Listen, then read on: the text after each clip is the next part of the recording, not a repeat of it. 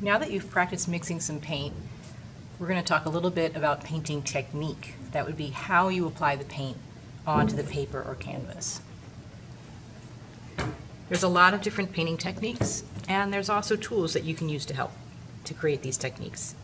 We have our brushes, which we've already talked about, different sizes and shapes, flat and round. We have other tools like these. These are rubber tipped. They look like brushes, but they're used to move the paint around the paper or scrape through it. We have other scraping tools like these two here.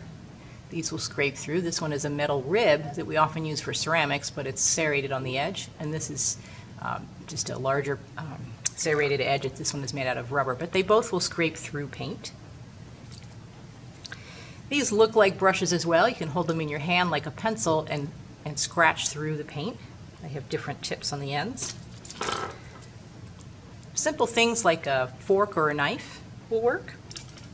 And then we have our palette knives. Palette knives come in different sizes and shapes. The kind that we have, we have a, a flat one and a bent one like this. The palette knives work very well for mixing your paints. So the first thing you want to do is figure out how to get a nice smooth layer of paint onto your page. So choose the brush you want to work with. I'm going to choose this one. It's pretty soft on the end. It's got a flat tip.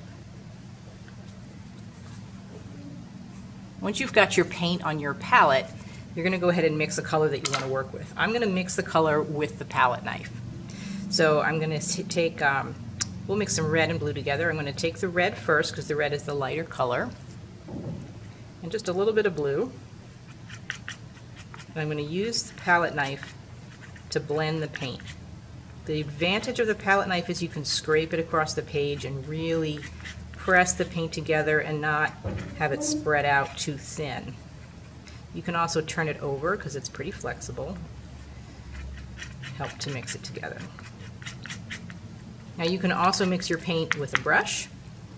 So I'll show you that. If you just want to use your brush to mix this paint, I'm going to just add a little bit more blue to show you. It would just look like this. And just be aware when you're mixing paint with a brush that it doesn't spread out into a huge circle because then your paint kind of dries out it's a little harder to handle that way. So sort of push it into the center as you're mixing. Just like with the Play-Doh, make sure you're mixing this paint thoroughly. There aren't streaks of different colors in it. And in the end, you're looking at one solid color to work with. So that's what that would look like. Now if you're going to paint on the page a nice smooth area, go ahead and use your brush. Pay attention to your the, the position of your brush and the direction of your brush strokes. You can get a nice smooth layer of the paint. You can always add another layer if you want to. Now another thing you can do with your brush, simple brush, um, is to change the brush stroke. So I'll go ahead and do that. Start out kind of smooth like this, but then if I go in there and I change the brush stroke, I'm sort of twirling it Okay, it gives it a different look. Here's that same technique done with a lighter color. It's a little easier to see, but you can see the swirl that you get from a smooth brush application, but twisted, and then this flat color. Another thing, another thing you can do is just kind of play around with the texture of it, and that's what this one is. So if you were to do that, you would take your paint, you can put it on there, and play around with how you're applying it. Now the soft brush is going to be harder to do that with. So what I'm going to do is I'm going to take one of this, this larger, stiffer brush and I'll play around with it, applying the paint in different directions.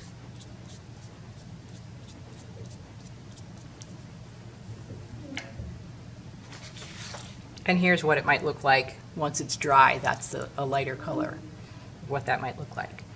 So that's a simple way to apply your paint, thinking about your brush strokes. But there are different techniques that we use, and we want to pay attention to those techniques. So the first one we want to talk about uh, is called glazing. So glazing is when you lay a smooth layer just like this, you let it dry, and then you put another smooth layer on top of it. So we'll go ahead and do that on this page, since this one is already dry. So we have a nice smooth layer here. And if I decide I want to do a glaze of blue on top of this, I would go ahead and get my blue, got it from my palette over there, and do a, just a nice smooth layer on top, but it's thin, making it a thin layer. And you can see through the blue, the green is showing right through there. It's pretty subtle, but that's called glazing. Here's a dry example of glazing. Here's another dry example of glazing. Okay, your second one that we want to look at is dry brush. So dry brush is when you use a brush that's dry. Usually you use one that's kind of old and crusty. Works pretty well. And you paint on the paint with no water. So I'm going to take a little bit of blue here, and I'll show you what this looks like. I'm just getting a little bit on the tip of the brush like that. And then when I go to paint, I'll do it right here, up here, very lightly, you can see that the texture that it makes. The less paint you have on your brush, the, the um, drier it will look. You can go in different directions with it. Okay, so here's an example of a dry brush piece. And here's an example of a combination of glazing and dry brush. You can see the glazing was done first underneath, then some dry brush, and then there's a little yellow glazing right on top of the dry brush over here.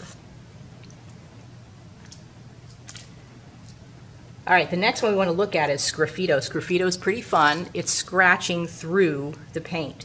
So you need to get a pretty good layer to start with. So I'm going to go ahead and take some blue here and paint it on. And then Sgraffito, any tool will work, but you just scratch through. You can cross hatch if you want. These tools work very well for Sgraffito, so let's try a little bit of that.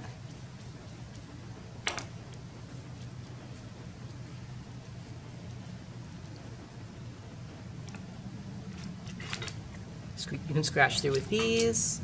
You can scratch through with, with something like this. So Sgraffito is scratching through. Now sometimes you can do things that are kind of fun. Like this one here, the red paint stains the surface of the paper. So if I wanted to, I could paint on a red layer first. Then I could put some blue on top. And then when I use these to scratch through, maybe we'll use uh, this one. You can see how the red stains the paper and then the blue stains there. So um, when you scratch through, you're seeing the first color that you put down onto the paper. Sgraffito is a lot of fun to play around with. So here's a finished piece, example of Sgraffito. And here's another one.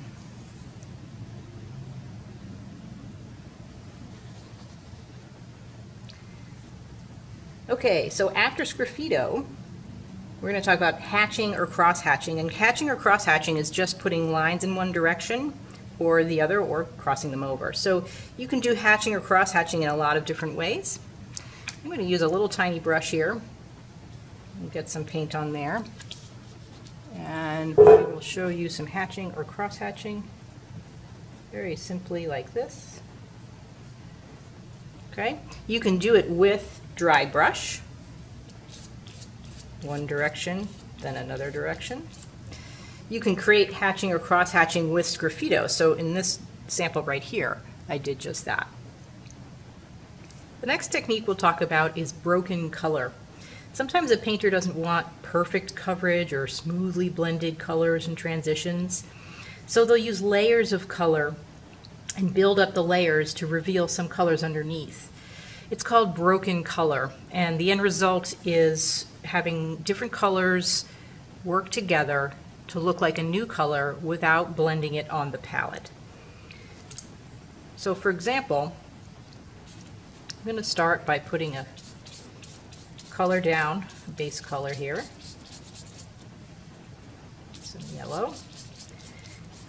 And if I wanted to give people the feeling of orange without mixing the orange on my palette, I'm going to, go ahead and work with some red on top of the yellow. So, and you can do it in a lot of different ways, but I'm going to go ahead and put in sort of a pattern here of little brush strokes. When we look at that, we see the yellow and we see the red, but we're also starting to think about orange. Now you can blend and, and mix with those. You can do a little sgraffito in there with it, whatever you want to do. But the broken color is when you have sort of chunks and pieces of different colors to, working together. So here's an example right here of a piece done with broken color and you can see there's sort of chunks of white here, pieces of green, the darker green, pieces of this medium green and this lighter green here. And they all work together to give you the idea of the pear and of a blended color, although it's not blended on the palette, it's blended visually on the canvas. The next one is impasto. Impasto means any, any paint that you're applying very thickly. The word is Italian, but the artist most commonly associated with that technique is Dutch, Vincent van Gogh. Sometimes the paint on Van Gogh's paintings is so thick that it casts a shadow. So let's do a little, little impasto here. When you paint it, your paint is going to literally stand up off the page. You can blend colors just like you would with any other technique, but in the end, the paint is standing up off the page. It's really thickly applied. Sometimes it's fun to use Sgraffito or you know these tools here to help with your impasto. So it gets kind of chunky here and that's okay. So that's one way to make that impasto work move it to a different spot so you can see. Some people like to use a palette knife to create their impasto.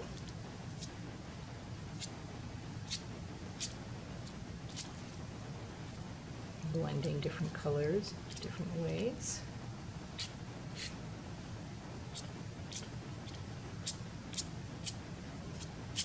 But in the end, you're going to see raised paint off of the surface. Now this is a dry piece from earlier. And if you look right here, this would be considered impasto. It is raised and it almost casts a shadow.